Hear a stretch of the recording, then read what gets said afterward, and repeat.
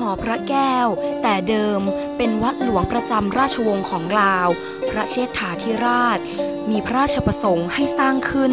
เมื่อปีพุทธศักราช 2108 เพื่อใช้เป็นที่ประดิษฐาน พระแก้วมรกตที่ได้อัญเชิญมาจากล้านนาสำหรับหอพระแก้วที่เห็นอยู่ในปัจจุบัน เป็นของที่ถูกบูรณะขึ้นใหม่ ในปีพศ 2480 ถึง 2483 สำหรับส่วนในของพิพิธภัณฑ์นั้น จัดแสดง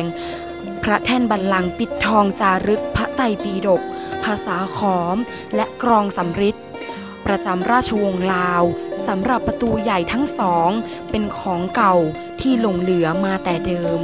บริเวณโดยรอบของหอพระแก้ว เงียบสงบ